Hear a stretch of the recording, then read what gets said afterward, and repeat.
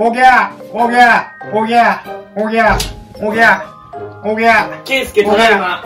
おかえりっす。どうしたんすか、おかん？ケイスケ、待機してくれてありがとええ、う。お母さん幼稚園また断られたわ。どういうことですか？また今年も待機児童。僕が今年も待機するってことですか？はい。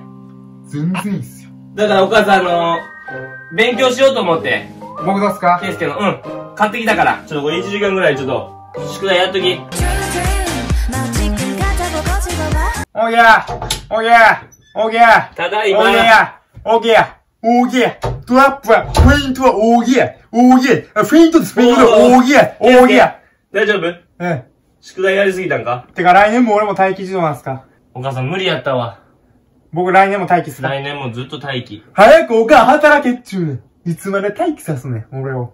俺を、もう待機じゃなくて預けて働きたいでしょ。働きたいです。えー、えー、その気持ち重々わかるっす。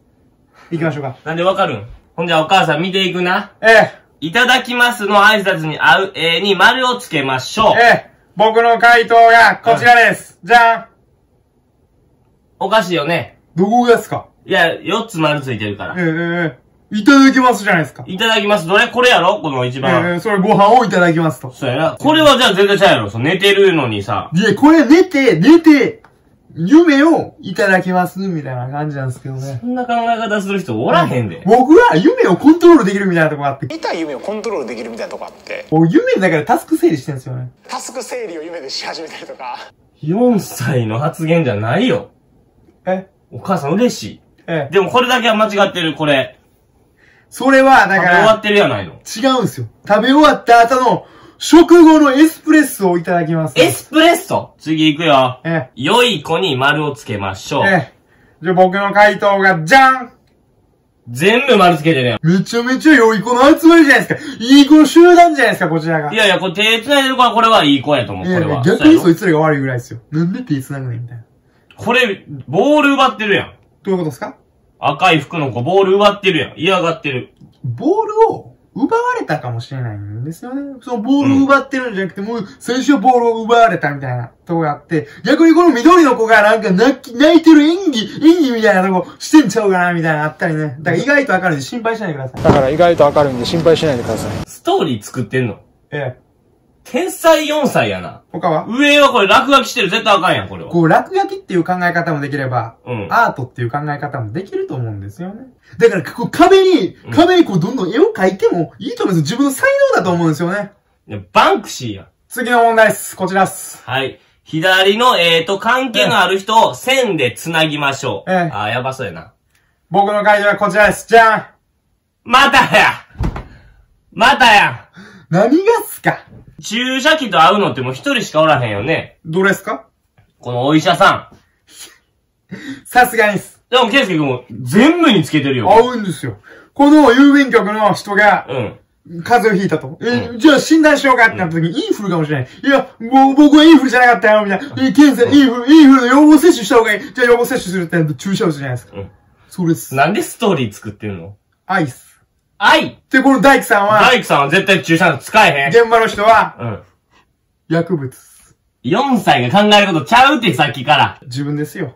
何がですか？敵はどんな時も。いや自分ですよ敵はどんな時も妥協という敵が日々あらゆる時間に襲いかかってくるんで、本当に強敵。妥協という敵が日々ねまああらゆる時間にやっぱり人間って襲いかかってくるので本当に強敵次の問題です。お正月によく見るものはどれでしょう？丸をつけましょう。ええええええ簡単やな。僕の回答がこちらです。じゃもう全部やん、また。んえ全部丸せえって言うてへんえ。やん。何なんすか？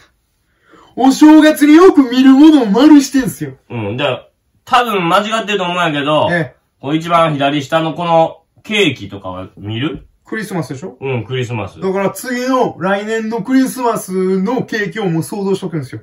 早ないなあ、いやいやいやいやいや。めちゃめちゃ早いよ。12ヶ月もあるっていう考え方もできれば、うんもう12ヶ月しかないっていう考え方もできると思うんで、そんな4歳おらへんよもうその時からサンタクロースに、いや、これ欲しいってもう願っとくべきだと思うんですよね。変わるで、多分。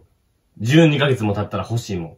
願ったことに対してできひんかったら、言い訳はせずに、自分の願いが弱かったと。自分の情熱が弱かったと。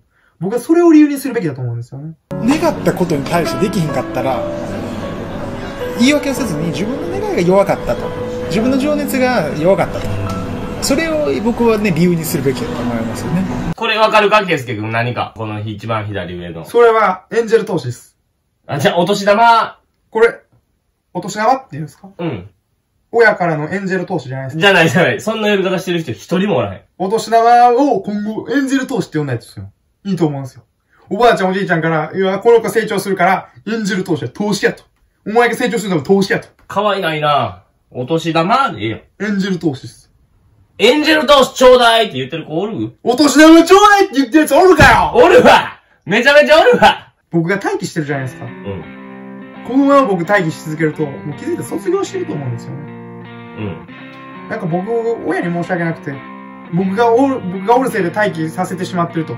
待機させて働けなくなってるってお母さんとかお父さんに申し訳ないと思うんですよね。もっと教育を見直してほしくて、クリーンごとを見直してほしくて、うん。待機児童が多いと。保育士がもう多い、保育士になりたい人は多い。でも保育士が少ないみたいな。こういう概念っていうのをどんどん覆してって、もうお母さんも今後お父さんにしてしまえばいいんですよ。うん。なんで？